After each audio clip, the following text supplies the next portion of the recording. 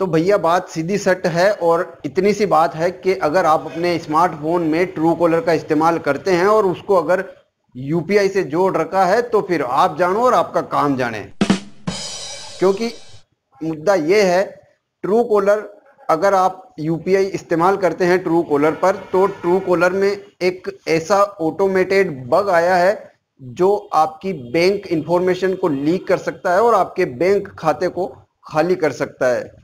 इस वीडियो में आपसे हम यही बात करने जा रहे हैं कि ट्रू कॉलर में ये जो बग आया है, ये क्या है और इसका क्या इम्पेक्ट दिखाई दे रहा है। तो चलिए दोस्तों, अब वीडियो शुरू करते हैं और जानते हैं ट्रू कॉलर के इस बग के बारे में।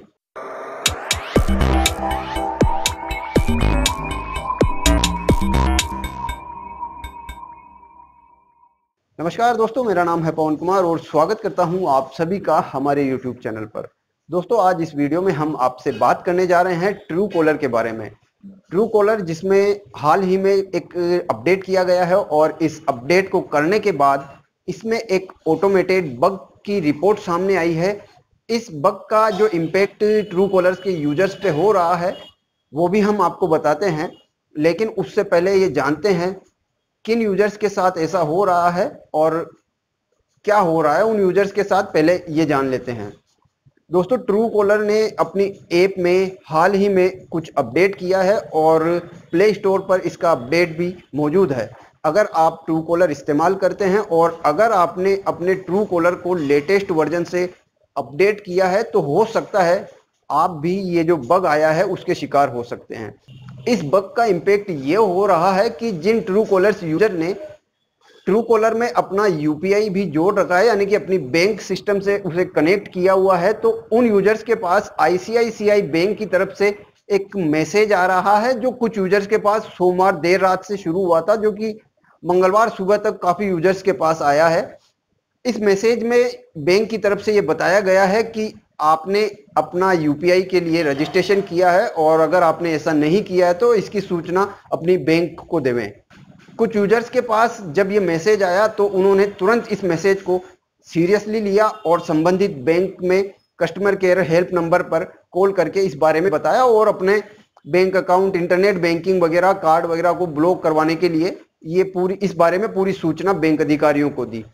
वहीं कुछ यूज़र्स ने अपना इंटरनेट बैंकिंग भी बंद करवा लिया है और अपने कार्ड को अस्थायी तौर पर फ़िलहाल के लिए ब्लॉक करवाया है। इस बारे में ट्रू कॉलर का कहना है कि ट्रू कॉलर का जो अपडेट जारी किया गया है, उसमें कुछ तकनीकी खामी रह गई थी और उसमें कुछ ऐसा ऑटोमेटेड बग आया है जो यूपीआई सिस्टम को बैंक के पास ऑटोमेटिक रजिस्ट्रेशन के लिए भेज देता है और ऐसे में ट्रू कॉलर ने ये आशंका भी जताई है कि जो ट्रू कॉलर के यूज़र हैं और यूपीआई का इस्तेमाल इस ऐप के ज़रिए करते हैं तो उनके साथ कहीं ना कहीं कुछ फ्रॉड किस्म का कुछ हो सकता है। तो ऐसे में फ़िलहाल आपको आवश्यकता ये है कि आप अगर ट्रू कॉलर इस्तेमाल कर रहे हैं, और वैसे तो अगर आपने इस ट्रू कॉलर को अपडेट नहीं किया है तो ज़्यादा बेहतर यही होगा कि इसको अपडेट ना करें, क्योंकि ट्रू कॉलर ने कहा है कि ये जो एक एरर आया है, ये जो बग आया है इसको जल्द से जल्द सोल्व कर लिया जाएगा और इस प्रॉब्लम को जल्द से जल्द दूर कर लिया जाएगा। फ़िलहाल आपके लिए ज़्यादा बेहतर यही होगा कि आप इसे अपडेट ना करें और अगर आप ट्रू कॉलर इस्तेमाल करते हैं तो फ़िलहाल जब तक ये बग दूर ना हो तब तक कम से कम ट्रू कॉलर पर यूपीआई का इस्तेमाल ना करें। तो दोस्तों, इस वीडियो में जो जानकारी हमने आप तक पहुंचाई है और ये जो ट्रू कॉलर में ये जो बग आया है, उसके बारे में आपको अवेयर करवाया है। अगर आपको ये पसंद आया है तो वीडियो को लाइक कर लेवें और चैनल को सब्सक्राइब कर लेवें। सब्सक्राइब करने के बाद बेल आइकन भी ज़रूर दबा देवें ताकि हमारी आने वाली सभी वीडियोस के नोटिफिकेशन आपको मिल सके। आपसे जल्द फिर से मुलाकात होगी। तब तक के लिए मुझे दीजिए इजाज़त। नमस्कार। जय हिंद। जय भारत।